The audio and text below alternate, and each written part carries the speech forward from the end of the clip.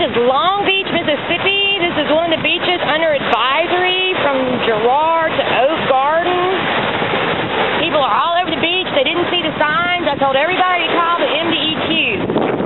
All the local residents are angry. There is dead stuff everywhere.